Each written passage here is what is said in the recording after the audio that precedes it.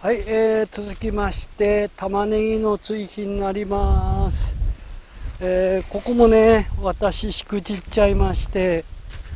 多分巻くの遅かったんだよね、えー、去年のまあ年末にね 植える予定だったんですけど大きくなんなくてね 植えられなくて、えー、苗のまま年越しちゃいました。まあここはねえー、キュウリネットをね張る予定なんで、えー、なるべく早くね開けたいんで、まあ、時期が来たらもう、えー、抜いてね、えー、寄せ植えかなんかにしとくか、まあ、か仮植えですねにしとくか、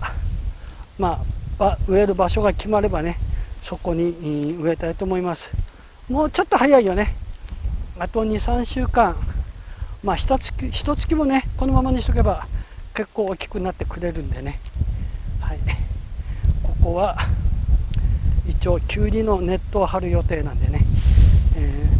ー、まあ時期が来たら開ける予定です。よいしょ。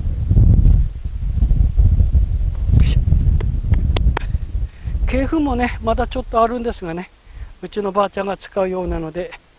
えー、米ぬかに切り替えました。一旦止めます。